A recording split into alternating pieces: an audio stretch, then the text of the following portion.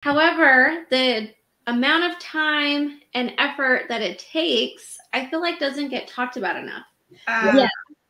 Yeah, I think a lot of people um, kind of look at social media and they see everybody's highlight reel and they think like, oh, you know, look at what they're doing and look how happy they are and it must be that easy. But nobody sees the back end of it and all of that hard work that people put in or those extra long hours or maybe the frustration or the hurdles that they're going through.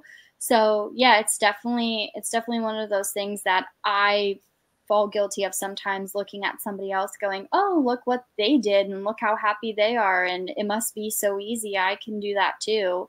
And then you start to get frustrated because you're like well i'm not growing as fast or i'm not getting so much engagement or it's very easy to fall down that that cycle of thinking i guess and i think too um, kind of to piggyback like i think imposter syndrome can hit hard mm-hmm. on social media and and everything that you're doing of just like you know this person's very successful and you're saying it looks so easy gosh should i even be doing this? Like i'm am i ever going to be as good as this person